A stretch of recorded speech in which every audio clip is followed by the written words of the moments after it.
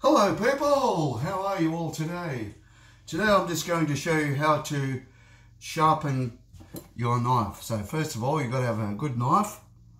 This is a proper chef's knife.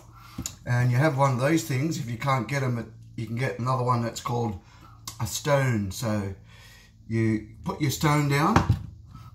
Hang on, I'll see if I can angle the, cam the camera a bit.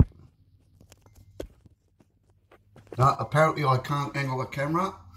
So anyway, so first of all you get your knife and you got to have it on a 45 degree angle flat and you rub it across the stone.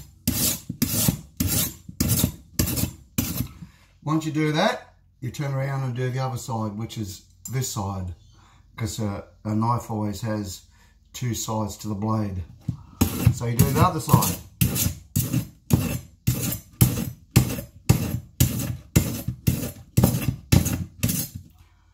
I'm just doing both sides. And then when you've done that, you get your thumb and you rub it across the knife, the blade, and you can feel it's very burry. And then to take off them burrs, which you can't see, you use this thing here. This thing is called a steel.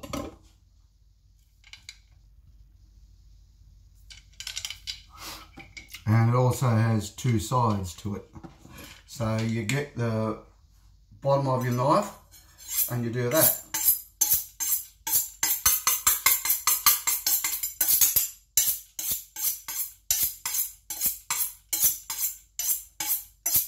This doesn't sharpen your knife, the stone does. What this does is take off the burr edges off your blade.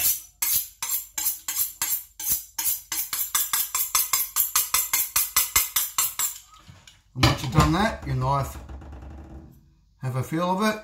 If it's not sharp enough, if it you don't think it's sharp enough, well, you put it on the stone again. Anyway, that's how to sharpen a knife. Thanks for watching.